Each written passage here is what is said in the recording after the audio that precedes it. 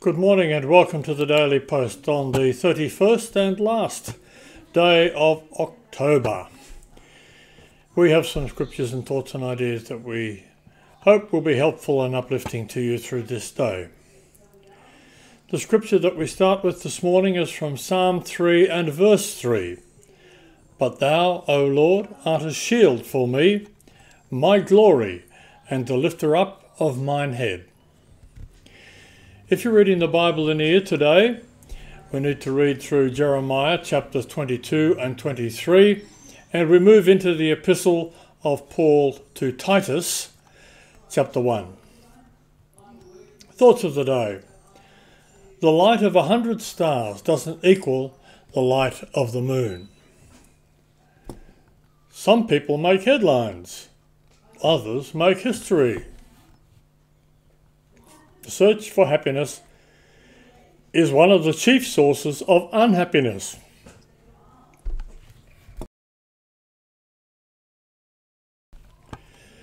The motivational thought for the day true courage is not the absence of fear. Rather, it is the taking of action in spite of the fear.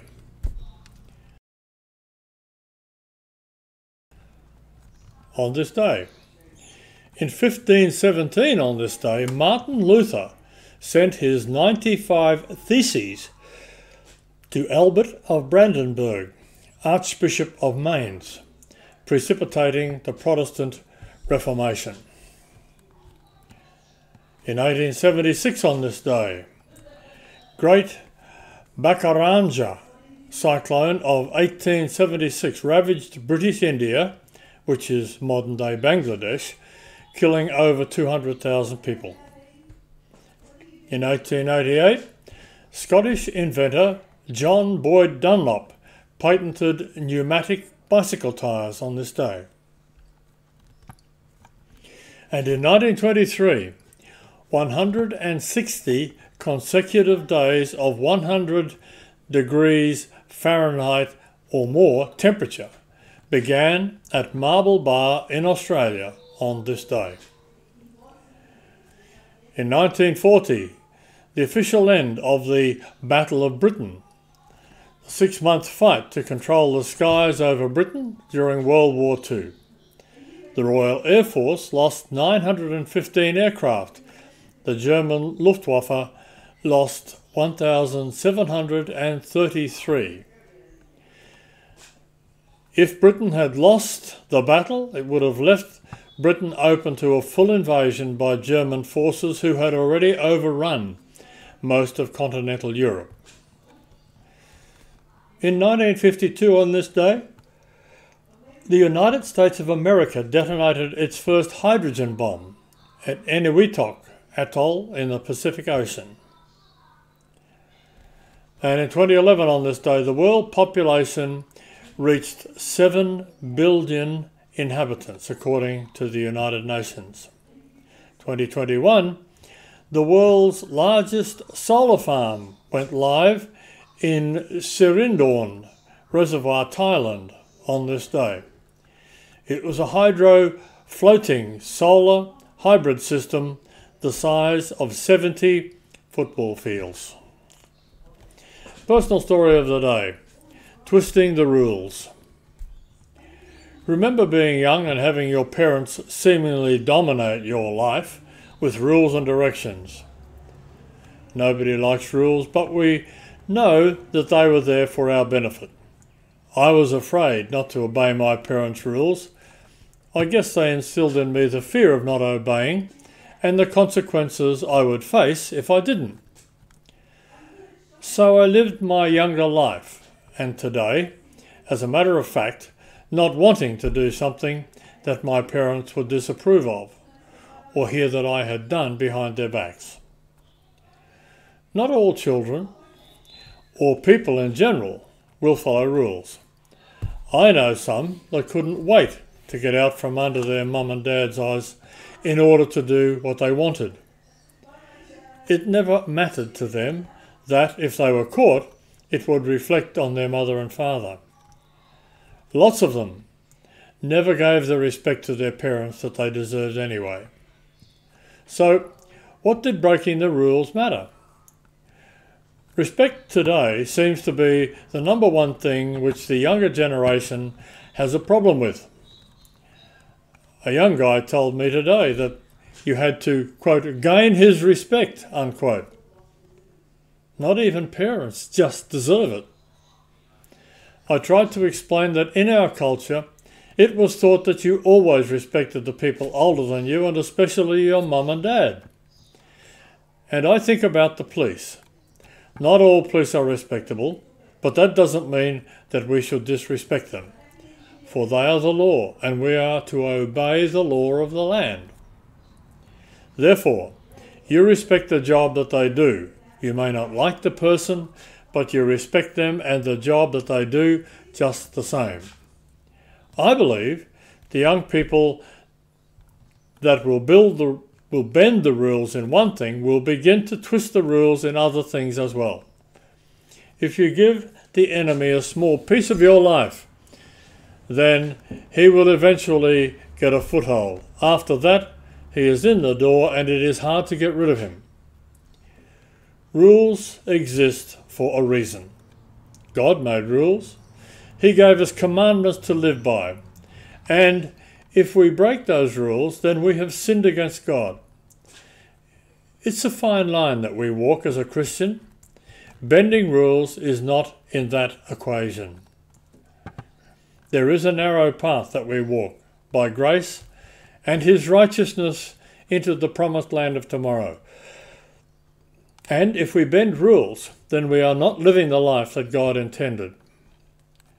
Once we have the wisdom to walk by faith in truth, because we respect God, we are in full overcoming mode of maturity. Wise words to uh, contemplate and to take on board. The devotional thoughts of the day the first, all the fruit and we go back to Galatians chapter 5 and verse 25 for the scripture, with references from Galatians chapter 5, verses 24 to 26. If we live in the Spirit, let us also walk in the Spirit. Having spent some time exploring biblical examples of the characteristics of fruit that indicate the Spirit's presence in our life, we can now return to Paul's argument in Galatians. Previously, we saw that the real problem with humanity is that all people are enslaved to their sinful nature. The law was and is powerless to fix this problem. Jesus, by dying for our sins and rising again, did what the law cannot do. He rescued us from our natural evil nature in a very evil age.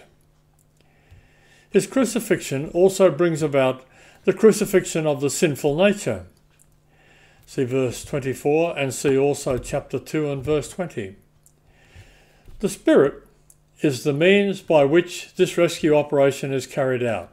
That is, those empowered by the Spirit live not by not as enslaved children, but as free, mature heirs of the inheritance promised to Abraham.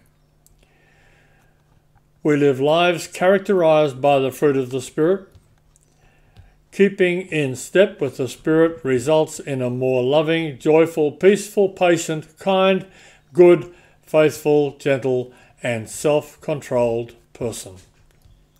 Let's keep in mind that the fruits of the Spirit do not on their own identify a true Christian. Speaking in tongues is a sign of salvation, with the other gifts of the Spirit being there to develop. However, the fruit of the Spirit identifies those who are exercising the Spirit that dwells within them. The law does not stand against or condemn those who live in this manner. See verse 23. This is why Paul told the Jews and Gentiles who are united in Christ not to provoke or envy one another. Verse 26. Those who were born of the Spirit have fulfilled the law without toiling in its disciplines and details. It is a time to rejoice, not a time to be jealous. Praise the Lord. Wise thoughts once again. The second thought A divided heart. The scripture from Matthew 5, verses 43 and 44.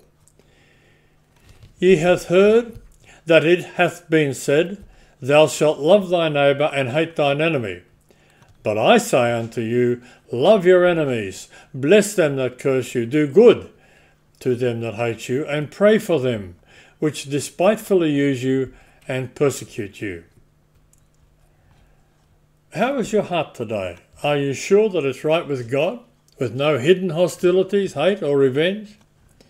Have you checked its corners lately to make sure the spider webs of the past hurts are gone?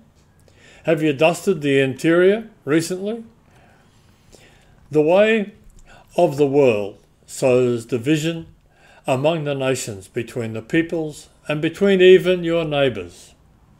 But God would have us to love one another, to pass on forgiveness, to tear down the walls that separate us from those in other cities, even other countries, anything that would separate us from God. He is the great I am, the Almighty God, our provider and banner, the God of enough. There is not one barrier that he can't get through or one wall that he can't break down for the cause of unity. Love never fails. There is no love stronger than God's. There is no power on earth that can surpass the power of God that he gives to his people that obey him. Today, pray for the barriers to be taken away, for the walls to fall just as the walls of Jericho fell, so that God can bring people to Him through the love shown them by His people. Again, wise word. Praise the Lord. The facts of the day. There are 142,000 recognised species of moths, and scientists estimate that there are thousands more yet to be discovered. In early America, Simple wooden beds and straw mattresses were the rule in all but the wealthiest of homes. American inns during the Revolutionary War era were not lush or comfortable, and an innkeeper would think nothing of requesting that a guest share his bed with a stranger when accommodation became strange. Closing thought I am thankful for the taxes I pay because it means that I am employed. That's a sobering thought. We thank you for joining us today, and we do hope that you have been influenced and uplifted and edified by the words that uh, we brought to you today, and we hope that you'll come back and see us again tomorrow morning.